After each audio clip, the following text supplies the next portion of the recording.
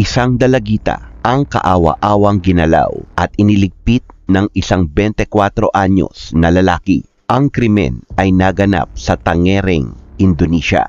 Ang kalunos-lunos na sinapit ng biktima ay pumukaw sa damdamin ng mga tao sa buong Indonesia pati na rin sa ibang karatig bansa. Ngunit sino nga ba ang sinasabing biktima? Ano nga ba ang nangyari sa kanya? Sino ang salarin at ano ang motibo ng sospe upang pasangin siya? Nakuha na nga ba ng biktima ang hustisya? Sabay-sabay nating alamin sa pagpapatuloy ng kwento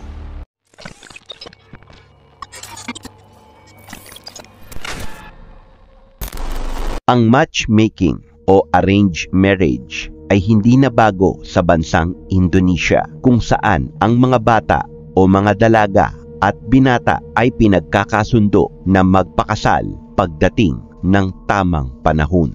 Maaaring magkakilala ngunit maaari namang hindi ang lalaki at babaeng ikakasal. Kadalasan nga sa matchmaking fixed marriage o arranged marriage na ang babae at lalaki ay walang nararamdamang pagmamahal sa isa't isa.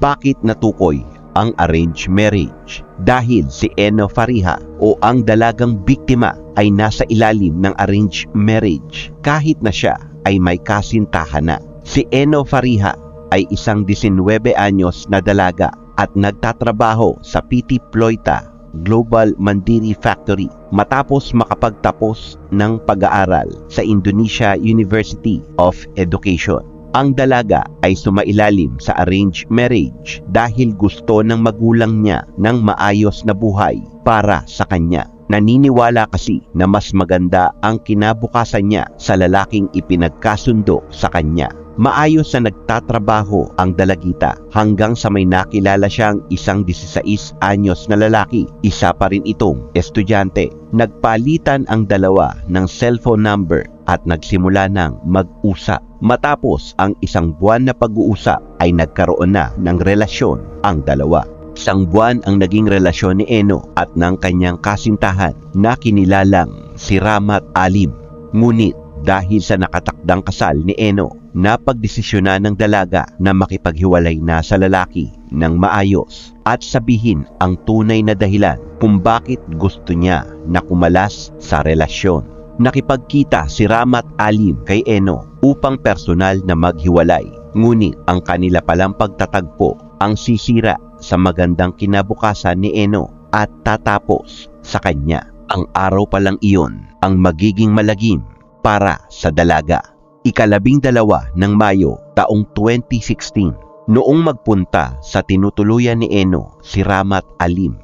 Nag-usap ang dalawa ng maayos sa loob ng 30 minutos at matapos mag-usap, tinatanggal na umano ni Ramat Alim ang damit o saplot ni Eno at iniyaya niya ang dalaga na makipagtalik sa kanya at matindi itong tinanggihan ng dalaga. Sa takot na baka siya ay mabuntis, paulit-ulit na tinatanggihan ni Eno si Ramat Alim o RA. Kahit alam naman ng lalaki na tatanggi ang dalaga ay nag-aya o nagtanong pa rin ito at noong makuha na pagtanggi bilang sagot ay dali-dali siyang umalis at iniwan si Eno mag-isa sa kanyang tirahan dahil sa puot at galit na naramdaman nito.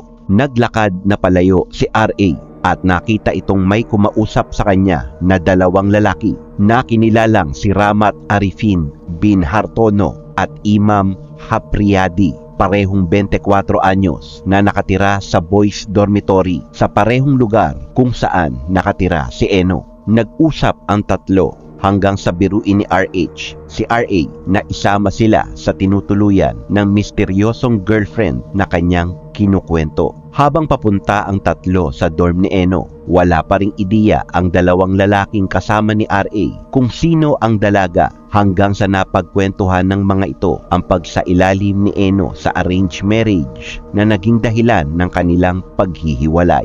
Agad naman siyang sinulsulan ng dalawang lalaki na sain niya na lamang ito dahil hindi naman na raw niya magiging kasintahan ngayon at sa hinaharap. Dahil sa ideyang iyon ay naglalaro na rin sa utak ni RA.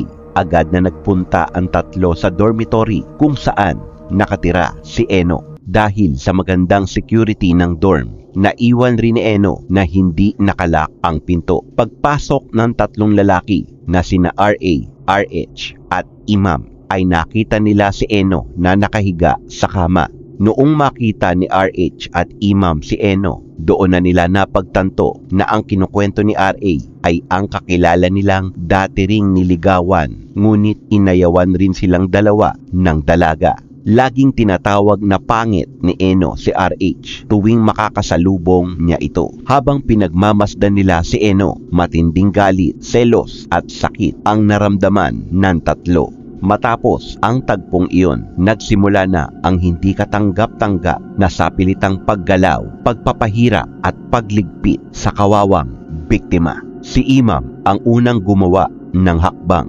Tinakpan niya ng unan ang mukha ni Eno upang hindi ito makahinga habang inutusan si RA na kumuha ng patalim. Ngunit walang makita ang binata kaya lumabas ito at nakita ang gardening hoe o asarol yun ang dinala ng binata sa loob.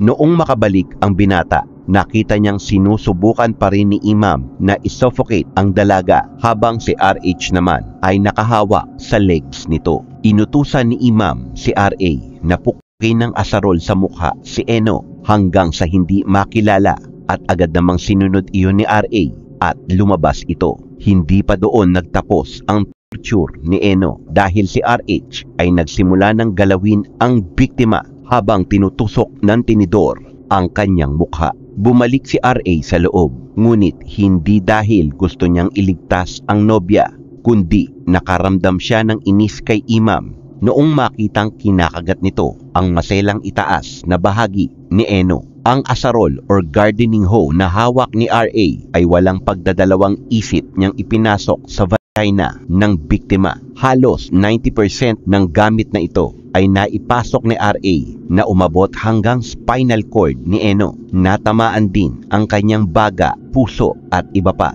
Matapos ang krimen, nilak ng tatlo ang kwarto ni Eno sa labas. Kaya ang bangkay ng biktima ay nakita isang araw matapos ang krimen dahil may pumasok na katrabaho sa kwarto ni Eno araw ng linggo, naaresto ng pulisya si RH at si Imam ng Hatanras Polta Metro Raya o Jakarta Metro Police. Martes naman, nung mahuli si RA, hindi tumigil ang pulisya sa paghahanap ng konkretong ebidensya para madiin ang tatlo at nakita nga sa kwarto ni Eno ang positibong semilya ng isa sa kanila. Sa patuloy na investigasyon, inamin ni RA na ang motibo niya sa pag lang sa biktima ay selos dahil sa arranged marriage nito.